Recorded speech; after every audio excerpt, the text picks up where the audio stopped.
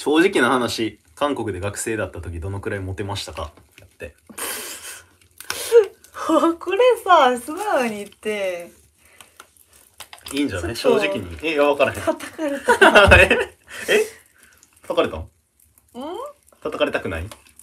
素直に言って叩かれるってことはってことになるよそれはでも。いやでも別にそこまでじゃないけどでも。普通？なんか。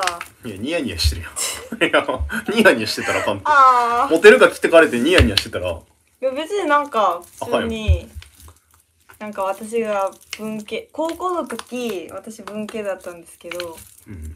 なんか高校のおとあの違う。理系の男がうん。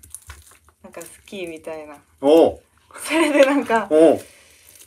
なんかバレンタインの時、うんなんか私の友達10人いつも仲良かったんですけど。ああ10人でグループみたいなのがあって。そうそうはいはい。その中私ともう一人2人がはいはい。なんかこうバレンタインの時チョコもらうとか。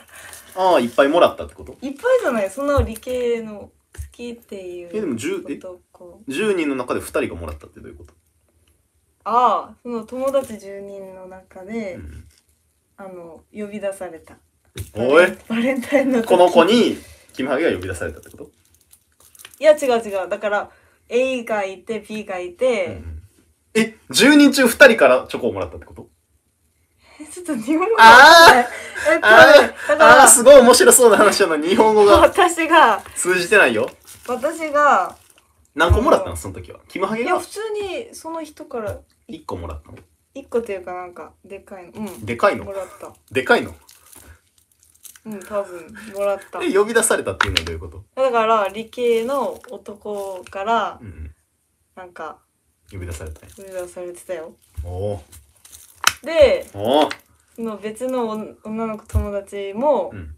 同じクラスの男に呼び出されたり。なるほどね。いやまあそれは別にクラスメイトもモテてたっていう話でしょあーまあまあまあ。でもそれがなんか、あのなんか出来事みたいな。出来事。ああ思い出。そうそう2人がそういうの、なるほどね。